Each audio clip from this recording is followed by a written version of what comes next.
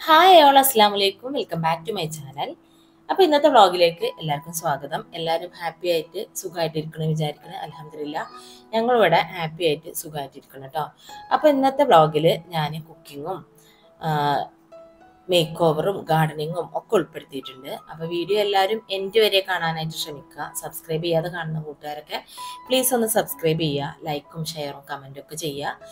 Bell icon click ചെയ്യാൻ മറക്കാതിരിക്കുക. എന്നാലാണ് നമ്മളിടുന്ന വീഡിയോസ് അപ്പോൾ നോട്ടിഫിക്കേഷൻ കിട്ടുള്ളൂ കേട്ടോ അപ്പോൾ അതാ ഞാൻ കാണിച്ചിട്ടുള്ള ഒരു ബെഞ്ച് ഉണ്ടല്ലോ. ആ ബെഞ്ചാണ് ഞാൻ മേക്ക് ഓവർ ചെയ്യാൻ പോകുന്നത്.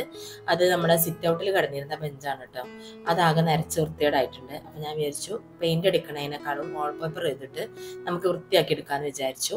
അപ്പോൾ അതാണ് ഇന്ന് ചെയ്യാൻ പോകുന്നത്. അതിന്റെ മുകളിൽ രണ്ട് സ്റ്റാൻഡും ഞാൻ ഫിറ്റ് ചെയ്തിട്ടുണ്ട് ഷെരീഫാക്ക വന്നപ്പോൾ അപ്പോൾ അതിൽ കുറച്ച് ഇൻഡോർ പ്ലാന്റ്സ് ഒക്കെ ആഡ് ചെയ്തിട്ട് ആ ചുമരൊന്ന് കളറാക്കാമെന്ന് വിചാരിച്ചു കേട്ടോ അപ്പോൾ ഞാൻ കിച്ചണിൽ ഇങ്ങനെ നോക്കുമ്പോൾ കാണുന്ന ചുമരാണല്ലോ. അപ്പോൾ കുറേ ദിവസമായി വിചാരിക്കണം അവിടെ എന്തെങ്കിലും ചെയ്യണം എന്ന് അപ്പോൾ അങ്ങനെ ഞാൻ പ്ലാൻ ചെയ്ത് വാങ്ങി വെച്ചതായിരുന്നു കേട്ടോ ആ സ്റ്റാൻഡ് അപ്പോൾ ഇന്നലെയാണ് ഇപ്പോൾ അത് ഫിറ്റ് ചെയ്ത് കിട്ടിയത്.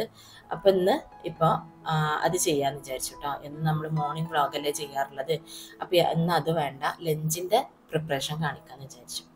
അപ്പോൾ മോം പോയി കാക്ക പോയി എല്ലാവരും പോയി. ഞാൻ അത് എത്തിയിട്ടോ അപ്പോൾ ഞാൻ കുറച്ച് ഇൻഡോർ പ്ലാന്റ്സിന്റെ കട്ടിങ്സ് ഒക്കെ പിടിപ്പിച്ചിട്ട് വെച്ചിട്ടുണ്ടായിരുന്നു. ഇത് മഞ്ജുള പോത്തോസ് ഇട്ടോ എന്റെ ഫേവറേറ്റ് ആണ് മഞ്ജുള പോത്തോസും അതുപോലെ തന്നെ സിൽവർ പോത്തോസും ഇട്ടോ രണ്ടുമാണ് ഇവിടെ വെക്കാൻ പോണത്. അപ്പോൾ ഇതാ ഞാനിതാ പോട്ട് ചെയ്തിട്ടുണ്ട് കേട്ടോ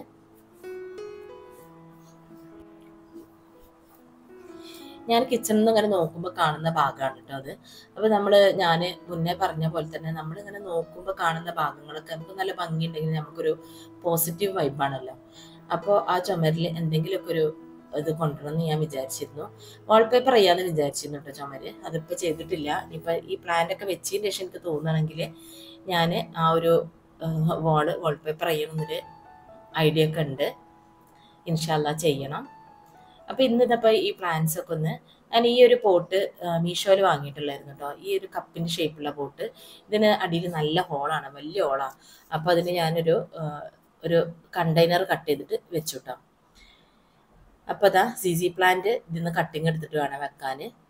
ഇത് കോഡക്സ് ഒക്കെ അതിന്റെ ഉള്ളിലത്തെ കോഡക്സ് ഒക്കെ വലുതായിട്ട് പോട്ടിന്റെ ഷേപ്പേ മാറിയിട്ടുണ്ട് കേട്ടോ എന്തായാലും ശശിയേട്ട നാളെ വരാമെന്ന് പറഞ്ഞിട്ടുണ്ട്. അപ്പോൾ റിമൂവ് ചെയ്യിക്കുക അതിപ്പോൾ ഞാൻ പറിച്ചാൽ വരില്ല ഇപ്പോൾ ഞാനിത് കട്ട് ചെയ്തിട്ട് ഇതിന്റെ കട്ടിങ്സ് ഇതിലൊരു ഗ്ലാസ് ഇറക്കി വെച്ചിട്ട് അതിൽ വെള്ളം വെച്ചിട്ട് വെക്കാനായിട്ട് പോവാണ് കേട്ടോ ഇങ്ങനെ നമ്മൾ ജി സി പ്ലാന്റിന്റെ കട്ടിങ് വെള്ളത്തിലിട്ട് വെച്ചാൽ അതിനടിയിൽ കോഡക്സും വേരൊക്കെ വരും. പിന്നെ ചട്ടിയിലേക്ക് വെച്ച് കൊടുത്താൽ മതി കേട്ടോ ഞാനിപ്പോൾ അതിൽ ഓൾറെഡി വെച്ചിരുന്നത് ഞാൻ ആദ്യം എടുത്ത് മാറ്റി എന്നിട്ടാണ് പിന്നെ വേറെ ഇട്ടത് കേട്ടോ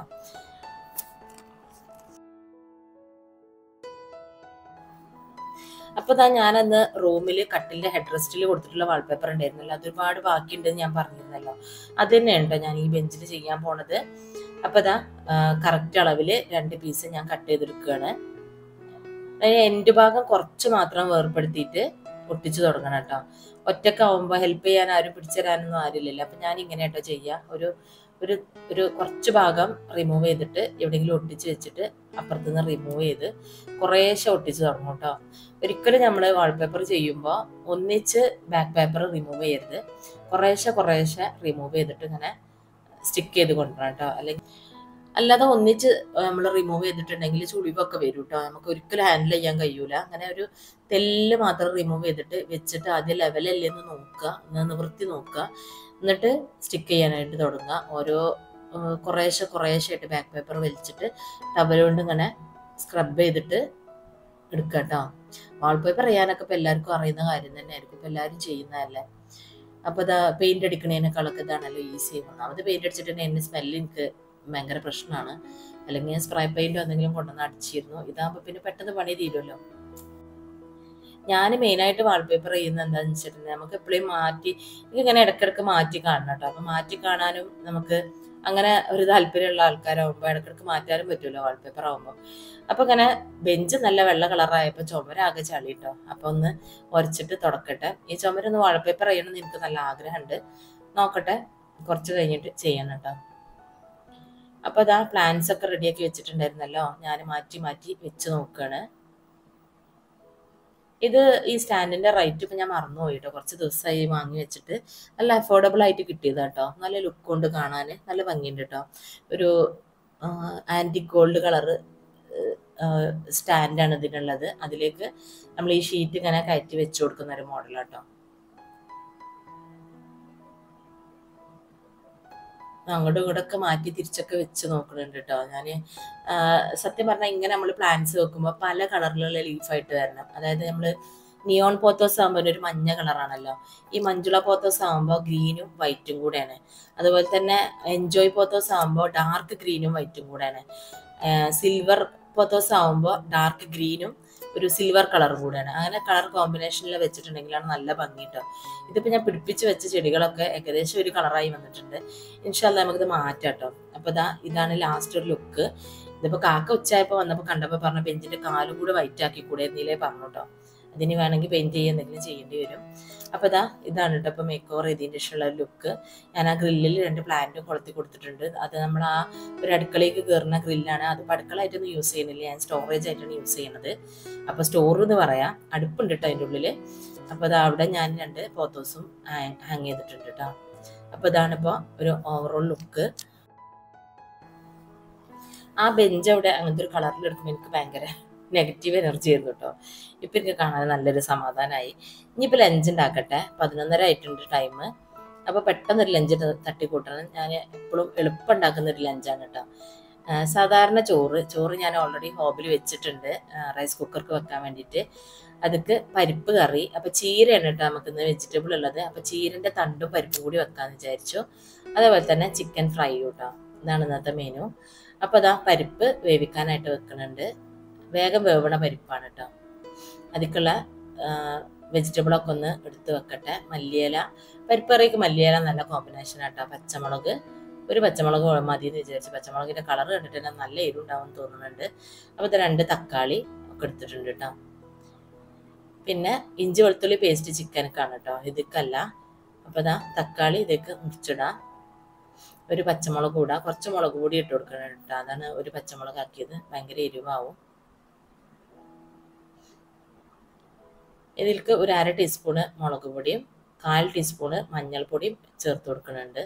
ആവശ്യത്തിന് ഉപ്പ് ഇട്ടിട്ട് നമുക്ക് കുക്കർ ഹോബക്ക് വെക്കാം കേട്ടോ ഇതിനിപ്പോൾ വിസിലടിച്ച് വേവുന്ന സമയം കൊണ്ട് ഞാൻ ഇതിക്കുള്ള തേങ്ങ റെഡിയാക്കട്ടെ.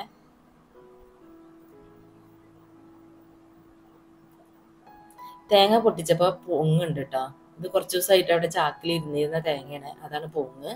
അപ്പം അതാണ് തീർന്നോട്ടെ എന്ന് വിചാരിച്ചിട്ട് ഇപ്പം അതാണ് കേട്ടോ എന്നും എടുക്കുന്നത് അപ്പം എന്നും പൊങ്ങ് കഴിക്കുന്നുണ്ട് ഇപ്പം ഞാൻ അപ്പം അതാ സ്ഥിരം ചെയ്യുന്ന പോലെ തന്നെ തേങ്ങ ചിരവാനൊന്നും പോണില്ല. ഞാനിതാ തേങ്ങ ഇങ്ങനെ എടുക്കുന്നുണ്ട് ചിരട്ടിയിൽ നിന്ന് എനിക്ക് ഏറ്റവും തിരക്കുള്ള ദിവസം ഞാൻ ഉണ്ടാക്കണ ലഞ്ചാണ് ഈ പരിപ്പ് കറിയും ചോറും ചിക്കൻ ഫ്രൈയും പക്ഷെ എന്തോ എന്റെ മക്കൾക്കും കാക്കാക്കൊക്കെ ഭയങ്കര ഇഷ്ടമാണ് ഈ ഒരു കോമ്പിനേഷന് മക്കൾക്ക് മാത്രമല്ല എന്റെ നാത്തൂന്റെ മൂത്ത മോൾ വരുമ്പോൾ പറയും മാമിയെ നിങ്ങൾ ബിരിയാണി വെക്കണ്ട. നിങ്ങളെ പരിപ്പ് കറിയും ചിക്കൻ ഫ്രൈയും നല്ല ടേസ്റ്റാണ് അതുണ്ടാക്കിയാൽ മതി എന്ന് പറയൂട്ടോ. അപ്പോൾ പൊതുവേ ഇത് ഇവിടെ ഞങ്ങൾക്ക് ഫാമിലി ആയിട്ടൊരു ഇഷ്ടപ്പെട്ട ഒരു കോമ്പിനേഷനാണ് കേട്ടോ അപ്പോൾ അതാ തേങ്ങ അരച്ചിട്ട് കൊണ്ടിട്ടെ അപ്പൊ ലൈക്ക് ചെയ്യാൻ മറന്നിട്ടുള്ളവരൊക്കെ ഒന്ന് ലൈക്ക് ചെയ്യട്ടോ. എന്തെങ്കിലും വിശേഷങ്ങളൊക്കെ ഒന്ന് കമന്റ് ചെയ്യാം. അപ്പൊ ഇതാ തേങ്ങ ഞാൻ ഒന്ന് പൊടിച്ചിട്ട് പിന്നെ വെള്ളം ഒഴിച്ച് അരക്കുക ചെയ്തു കേട്ടോ. ചിക്കൻ ഇതൊക്കെ ആക്ക ഒന്നിച്ച് കൊണ്ടുവന്നാണ് ലെഗ് പീസുകൾ മാത്രം കട്ട് ചെയ്ത് കൊണ്ടുവന്നാണ് കേട്ടോ. അപ്പോൾ ഇത് മുഴുവൻ വേണ്ട. ആവശ്യത്തിനുള്ളത് മാത്രം ഞാൻ എടുക്കുകയാണ്. പിന്നെ ഒക്കെ സെപ്പറേറ്റ് ചെയ്ത് പാക്ക് ചെയ്തിട്ട് ഫ്രിഡ്ജിൽ വെക്കും കേട്ടോ. അപ്പോൾ ഇതാ പരിപ്പ് വെന്തിട്ടുണ്ട്. ഇത് ഓഫ് ചെയ്തിട്ട് ഒന്ന് സ്റ്റീം പോയിന്റേഷൻ തുറന്നിട്ട് ഇതിലേക്ക് ചീരന്റെ തണ്ട് ഇട്ട് കൊടുക്കണം കേട്ടോ.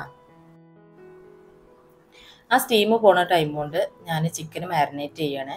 അപ്പോൾ ഒന്നര ടീസ്പൂണ് ഇഞ്ചി വെളുത്തുള്ളി പേസ്റ്റ് ഒരു രണ്ട് സ്പൂണ് വിനാഗിരി ആവശ്യത്തിനുള്ള ഉപ്പ് പിന്നെ എരിവിന് ആവശ്യത്തിനുള്ള മുളക് പൊടി. ഇത് പിരിയൻ മുളകും സാധാരണ മുളകും കൂടെ പൊടിച്ചിട്ടുള്ളതാണ്. അപ്പോൾ നല്ല കളറും കിട്ടും. നമുക്ക് കൂടുതൽ മുളക് ഇടാനും പറ്റും. ചിക്കനിലൊക്കെ നല്ല മസാല കവർ ചെയ്ത് നിൽക്കണമല്ലോ അതല്ലേ ടേസ്റ്റ് ഒരു അര ടീസ്പൂണ് മഞ്ഞൾപ്പൊടി ഇട്ടിട്ടുണ്ട്. രണ്ട് ഒരു ഒന്നര ടീസ്പൂണ് സ്പൂണ് കോൺഫ്ലവറും ചേർത്ത് കൊടുക്കുന്നുണ്ട് കേട്ടോ ഇതെല്ലാം മിക്സ് ചെയ്തിട്ട് അവിടെ മാറ്റി വെക്കാം. കറിയൊക്കെ ആയി ചോറൊക്കെ ആയതിന്റെ ശേഷം വറക്കുള്ളൂ കേട്ടോ അതുവരെ ഒന്ന് മസാല പിടിക്കട്ടെ. എനിക്ക് കൈ കൊണ്ട് നല്ലോണം ഇളക്കിയാലാണ് കേട്ടോ അത് ഒരു ഇതാവുള്ളൂ. തൃപ്തിയാവുള്ളൂ. നല്ലോണം ഒക്കെ പിടിച്ച് ഇതാവണ പോലെ ആവുള്ളൂ. കൈ നീറും എനിക്ക്. എന്നാലും ഞാൻ കൈ കൊണ്ട് തന്നെ അളക്കൂട്ടോ. അപ്പൊ അതാ ഇത് നമുക്ക് മൂടിയിട്ട് മാറ്റി വെക്കാം.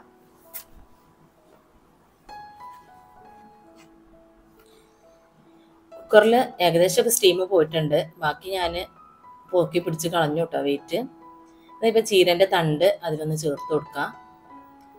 പിന്നെ വെയിറ്റ് വെക്കണില്ല കേട്ടോ. വെയിറ്റ് വെക്കാതെ തന്നെ ഒരു രണ്ട് മിനിറ്റ് ഒന്ന് വേവിച്ചു ചീരത്തണ്ട് നല്ലോണം വന്നിട്ടുണ്ട്. നല്ല ഇളയ ചീരയാണ് കേട്ടോ അപ്പൊ ആ ചീരത്തണ്ടും പരിപ്പൊക്കെ നല്ല പാകത്തിന് വന്നിട്ടുണ്ട് കേട്ടോ ഇനി ഇതിൽ അരപ്പ് അരപ്പൊഴിച്ചു കൊടുക്കാം. ചെറിയ ജീരകം ചെറിയ ഉള്ളി ഇട്ടിട്ടാട്ടോ ഞാൻ തേങ്ങ അരച്ചിട്ടെടുത്തത്. ഇതിക്ക് വറവിടട്ടെ. കറി വറവിട്ട് വെച്ചാൽ നമുക്ക് കഴിക്കണീന്റെ ഒരു കുറച്ച് മുന്നേ ആയിട്ട് ചിക്കനും വറുത്ത് ചീരി ഉണ്ടാക്കിയാൽ മതി. ഞാൻ മുന്നേ പറഞ്ഞിട്ടുണ്ടല്ലോ നമ്മൾ താളിപ്പൊക്കെ ഉണ്ടാക്കുമ്പോൾ കഴിക്കണേന് തൊട്ട് മുന്നേ ഉണ്ടാക്കിയിട്ട് കഴിക്കുകയില്ല നല്ല ടേസ്റ്റ് അപ്പോൾ പിന്നെ അതുമല്ല ചീരയും മുരിങ്ങയൊക്കെ താളിക്കുമ്പോൾ കഞ്ഞിവെള്ളത്തിൽ താളിച്ചാലാണ് നല്ല ടേസ്റ്റ് അപ്പോൾ ചോറ് വേവട്ടെ എന്നിട്ട് അതിന്റെ കഞ്ഞിവെള്ളം എടുത്തിട്ട് നമുക്ക് ചീര താളിക്കാട്ടോ പരിപ്പ് കറിക്ക് എപ്പോഴും മല്ലിച്ചപ്പ് നല്ല കോമ്പിനേഷൻ ആട്ടോ പരിപ്പ് നമ്മൾ ചീര ഇട്ടിട്ടും പടവലം ഇട്ടിട്ടൊക്കെ വെക്കുമല്ലോ അതൊക്കും പരിപ്പും തക്കാളി മാത്രമായിട്ട് വെക്കുകയാണെങ്കിലൊക്കെ മല്ലിച്ചപ്പ് നല്ല കോമ്പിനേഷനാണ് നല്ല ടേസ്റ്റ് കിട്ടും. അപ്പോൾ ഞാൻ എപ്പോഴും പറയാറുള്ള പോലെ വറുത്തിട്ടിട്ട് ഒന്ന് മൂടി വെക്കുക. കുറച്ച് കഴിഞ്ഞിട്ട് ഇളക്കാം കേട്ടോ അപ്പോൾ അതാ അപ്പോൾ ഇങ്ങനെ ചോറ് അത്യാവശ്യമൊക്കെ തിളച്ചിട്ടുണ്ട്. തിളക്കാൻ തുടങ്ങിയിട്ട് കുറച്ച് ടൈം ആയിട്ടോ. റൈസ് കുക്കർക്ക് ഇറക്കി വെക്കട്ടെ. ഇനി നമുക്ക് ചോറ് വേവുന്ന സമയമാകുമ്പോൾ ബാക്കിയുള്ള പണിയൊക്കെ ചെയ്യാട്ടോ അപ്പോൾ ഇതാ ചോറ് വന്ന് അപ്പോൾ ഞാനിത് അടുക്കളയ്ക്ക് തന്നെ തിരിച്ചു വന്നിട്ടുണ്ട്. കാക്ക ഫുഡിന് വന്നിട്ടുണ്ട് കേട്ടോ ഓൾറെഡി അപ്പോൾ ഞാൻ ചീര ഉണ്ടാക്കാനും കോഴി പൊരിക്കാനൊക്കെ വേണ്ടിയിട്ട് വന്നതാണ്. ഇത് നമ്മളെ രണ്ട് ദിവസം മുന്നേ വന്നിട്ടുള്ള കാസ്റ്റാൻഡ പാൻ ഉണ്ടല്ലോ അതാണ്. അപ്പോൾ കാസ്റ്റാൻഡ പാന്റെ റിവ്യൂ പറയുമോ എന്ന് ചോദിച്ചിട്ടുണ്ടായിരുന്നു ആരോ വീഡിയോയിൽ നല്ലതാട്ടോ. നല്ല നല്ല പ്രൊഡക്റ്റാണ് കാസ്റ്റാൻഡ് എല്ലാ പ്രോഡക്റ്റും നല്ലത് തന്നെയാണ് കേട്ടോ പാനൊക്കെ. അത് ഇന്ന ബ്രാൻഡ് എന്നൊന്നുമില്ല കാസ്റ്റേൺ ആണോ എന്ന് ശ്രദ്ധിച്ചാൽ മതി. നമുക്ക് ഒരു ഷീറ്റിന്റെ ടൈപ്പ് കിട്ടും. അത് വാങ്ങരുത് കേട്ടോ നമ്മൾ അയണിന്റെ നമ്മളിപ്പോൾ ഞങ്ങളെ ഈ പരിസരത്തൊക്കെ ഓരോരുത്തർ ഇങ്ങനെ കൊണ്ടുവരുന്ന കാണാം. അയണിന്റെ പാൻ എന്നൊക്കെ പറഞ്ഞിട്ട്. അത് യൂസ് ചെയ്യാൻ പറ്റൂല കേട്ടോ അത് ഭയങ്കര കാഞ്ഞിട്ട് അതിൽ ഒട്ടിപ്പിടിക്കും. കാസ്റ്റേൺ അങ്ങനല്ല. കാസ്റ്റേൺ പാൻ എന്ന് പറഞ്ഞിട്ടുണ്ടെങ്കിൽ നമ്മൾ ദോശ നീർദോശ ഒഴിക്കാൻ വേണ്ടിയിട്ടൊരു പാൻ വാങ്ങുമല്ലോ അതാണ് കേട്ടോ കാസ്റ്റേണിന്റെ പാൻ അങ്ങനെ തന്നെ വാങ്ങുക. അത് സീസൺ ചെയ്താൽ എളുപ്പമാണ് കേട്ടോ ഇനിയിപ്പോൾ അഥവാ റെസ്റ്റ് പിടിച്ചാൽ നമ്മൾ കുറച്ച് ദിവസമൊക്കെ വീട്ടിൽ നിന്ന് മാറി നിൽക്കുക കുക്ക് ചെയ്യാതെ നിൽക്കുകയൊക്കെ ചെയ്യുകയാണെങ്കിൽ റെസ്റ്റ് പിടിക്കുകയാണെങ്കിൽ കുറച്ച് ഉപ്പിട്ടിട്ട് വരുത്തി കഴുകുക. എന്നിട്ട് എണ്ണ പുരട്ടി വെച്ചാൽ മതി കേട്ടോ ഒരു ദിവസം എണ്ണ പുരട്ടി വെച്ചാൽ മതി. പിറ്റേ ദിവസം സീസൺ ആയിട്ടുണ്ടാവും. എളുപ്പമാണ് എന്തായാലും നല്ല ഹെൽത്തി ആണല്ലോ. അയൺ കണ്ടന്റ് ഫുഡിൽ നല്ലോണം വരും ചെയ്യും. നല്ലതാണ്. നമ്മൾ ശരിക്കും കാസ്റ്റ് അയണിലും മൺചട്ടികളിലൊക്കെയാണല്ലോ നമ്മൾ കുക്ക് ചെയ്യേണ്ടത്. ഞാനിപ്പോൾ നോൺ സ്റ്റിക്ക് ഇങ്ങനെ ഒഴിവാക്കി ഒഴിവാക്കി വരണം ഞാൻ അന്ന് പറഞ്ഞ പോലെ പൂർണമായിട്ട് ഒഴിവാക്കാൻ എന്തായാലും പറ്റൂല. പാർട്ടിയൊക്കെ ഉണ്ടാകുമ്പോൾ എന്തായാലും യൂസ് ചെയ്യേണ്ടി വരും. അല്ലാതെ നമ്മൾ ഈ ഡെയിലി കുക്ക് ചെയ്യുന്നതിൽ കുറച്ച് ഹെൽത്തി ആയിട്ട് നിൽക്കട്ടെ എന്ന് വിചാരിച്ചിട്ട് ഇങ്ങനെ മാറി തുടങ്ങണം കേട്ടോ. അപ്പം ഞാൻ അത് ചീര ചീര താളിക്കാൻ വേണ്ടിയിട്ട് ചെറിയുള്ളി ഉണ്ടല്ലോ അത് വൃത്തിയാക്കാണ്. ചെറിയുള്ളിയും മുളകും കൂടെ കുത്തി ചതച്ചിട്ടിട്ടാണ് ഞാൻ ചീര താളിക്കാറുള്ളത് കേട്ടോ. ചീര ആയാലും ഒരുങ്ങ താ താളിപ്പ് ഉണ്ടാക്കുമ്പോഴൊക്കെ ഞാൻ അങ്ങനെ ചെയ്യുക അപ്പം നമുക്ക് ഈ ഉള്ളിന്റെ ടേസ്റ്റ് മറ്റേത് ഉള്ളി മൂപ്പിച്ച ടേസ്റ്റാണ് വരിക. അങ്ങനെ കുത്തി ചതച്ചിട്ടിട്ടുണ്ടെങ്കിൽ വേറൊരു ടേസ്റ്റാണ് കേട്ടോ വരിക. ഉള്ളിന്റെ ഈ ചെറിയ ഉള്ളിന്റെ നല്ലൊരു ഫ്ലേവർ കിട്ടും. നല്ല ഡിഫറൻസ് ആട്ടോ അത് തമ്മിൽ അപ്പോൾ ഇതാ ചതക്കിയിട്ട് ഇത് ഒരു ലിഡുള്ള ഇതാണ് കേട്ടോ ഇടി ഇടിക്കല്ലാണ്. അപ്പോൾ നമുക്ക് മേലൊക്കെ തെറിക്കൊന്നുമില്ല കേട്ടോ മുളക് ഉണ്ടെങ്കിലൊക്കെ ആരും എന്നോട് കഴിഞ്ഞ പ്രാവശ്യം ഒരു പ്രാവശ്യം കണ്ടപ്പോൾ ചോദിച്ചിട്ടുണ്ടായിരുന്നു കേട്ടോ ഈ സംഭവത്തിനെ പറ്റി. അതാ ഞാൻ പറഞ്ഞത്. അപ്പോൾ അതങ്ങനെ ഇടിച്ചിട്ട് ഞാൻ എണ്ണയൊക്കെ ഇട്ട് കൊടുത്തു. ഇനി ഇതൊന്ന് മൂക്കട്ടെ. നമ്മൾ ഭയങ്കര കളറാവണ്ട കേട്ടോ നമ്മൾ എപ്പോഴും താളിപ്പ് ഉണ്ടാക്കുമ്പോൾ നിങ്ങൾ ശ്രദ്ധിച്ചിട്ടുണ്ടോ അറിയില്ല.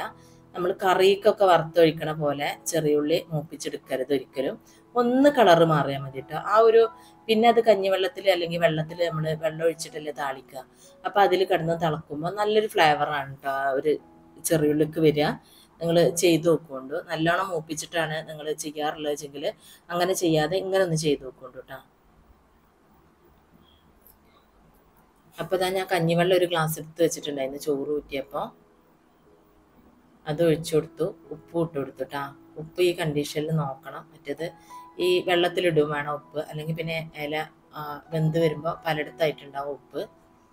അപ്പോൾ ചീര ഇട്ട് കൊടുക്കട്ടെ. ചീര ഒരുപാടുണ്ട്. പക്ഷെ അത് ആ കഞ്ഞിവെള്ളം ഇങ്ങോട്ട് തിളക്കണോട് കൂടി അത് അങ്ങനെ അമർന്നോളൂ കേട്ടോ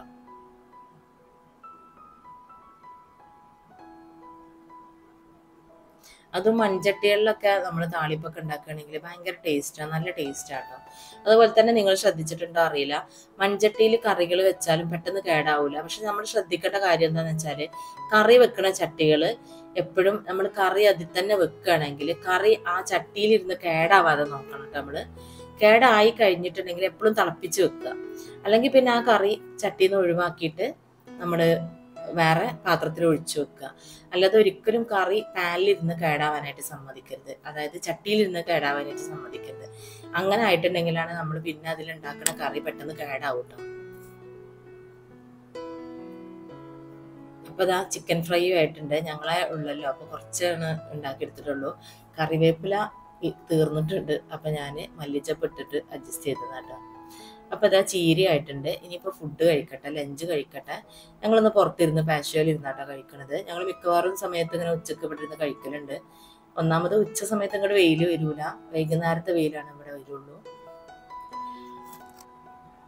പിന്നെ നല്ല കാറ്റും ഉണ്ടാവും കേട്ടോ നല്ല രസമാണ് ഇവിടെ ഇരുന്ന് അങ്ങനെ ഭക്ഷണം കഴിക്കാനും. അതേപോലെ വൈകുന്നേരം ചായ ഇട്ടിരിക്കാനും. രാവിലെ എണീറ്റിട്ട് നമ്മൾ കാലിച്ചായ കുടിക്കുമല്ലോ അപ്പൊ ആ ഒരു ഒരു മഞ്ഞും തണുപ്പും ആ ഒരു ചില സമയ ചില സീസണിൽ ഒരു മഞ്ഞ് മൂടിയ ഒരു കാലാവസ്ഥ ഉണ്ടാവുമല്ലോ അപ്പോഴൊക്കെ ഒരു ചായ ഇട്ടൊക്കെ ഇവിടെ ഇങ്ങനെ വന്നിരിക്കണമെങ്കിൽ നല്ലൊരു വൈബാണ് കേട്ടോ അപ്പൊ ഇതാ കാക്ക വിളമ്പെന്ന് ഞാൻ വീഡിയോ എടുക്കുകയായിരുന്നു. അപ്പൊ ഇന്നത്തെ വീഡിയോ എല്ലാവർക്കും ഇഷ്ടപ്പെട്ടിട്ടുണ്ടാവും എന്നൊക്കെ വിചാരിക്കുന്നു. ഞാൻ മുന്നേ പറഞ്ഞ പോലെ എന്തെങ്കിലുമൊക്കെ ഒന്ന് കമന്റ് ചെയ്യട്ടോ ലൈക്കും ചെയ്യുക. എന്തെങ്കിലും ഒരു അഭിപ്രായങ്ങളോ വേറുള്ളതൊക്കെ ഒന്ന് കമന്റ് ചെയ്യുക. എനിക്ക് ഭയങ്കര ഒരു മോട്ടിവേഷനാണത് അപ്പൊ ഇതാ ഇത്രയൊക്കെയായിരുന്നു ഇന്നത്തെ വീഡിയോ. ഇനി ഒരു വീഡിയോ ആയിട്ട് വരുന്നവരെയും അസ്സാം വലൈക്കും